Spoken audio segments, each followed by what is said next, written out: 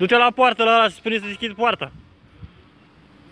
Din imaginile surprinse cu telefonul mobil de către un martor al evenimentului se poate observa cum flăcările pun stăpânire rapid pe remorca autotrenului aflat în curtea societății comerciale Gerom din Buzău. Incendiul a izbucnit în partea de jos a remorcii în timp ce muncitorii executau lucrări de întreținere, constând în operațiuni de sudură la un rezervor suplimentar. În timpul intervenției, reziduurile din rezervor au luat foc. Pompierii s-au deplasat la locul intervenției cu auto specială cu apă și spumă și au lichidat focul în scurt timp de la sosire. Potrivit informațiilor ISU Buzău, nicio persoană persoană nu a fost rănită în acest incendiu. A fost declanșată o anchetă pentru stabilirea cu exactitate a cauzelor incendiului.